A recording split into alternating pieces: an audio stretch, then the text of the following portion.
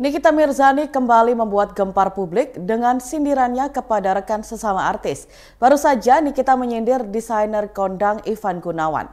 Sindiran itu dilontarkan Nikita melalui akun Instagramnya saat sedang live. Nikita mengaku sakit hati dengan Ivan Gunawan lantaran diduga bermain dukun.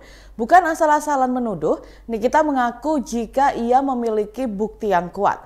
Awalnya Nikita Mirzani menyindir Ivan Gunawan dari Bunda Korla yang dicap terlalu diatur. Menurut Nikita, Bunda Korla saat ini tengah dimanfaatkan oleh Igun dan Maharani Kemala untuk menjual produk skincare-nya. Kemudian Nikita juga membeberkan jika Igun dan Maharani Kemala ini bermain dukun. Nikita Mirzani mengatakan jika Igun dan Maharani tak percaya Tuhan karena telah bermain dukun. Lebih lanjut, Nikita juga menyentil Igun lantaran baru saja pulang umroh. Tampaknya amarah Nikita belum bisa terbendung. Terlihat dari dari akun Instagramnya, Nikita juga menyindir lewat Instagram Story. Ia pun menyematkan nama Ivan Gunawan dalam postingan tersebut.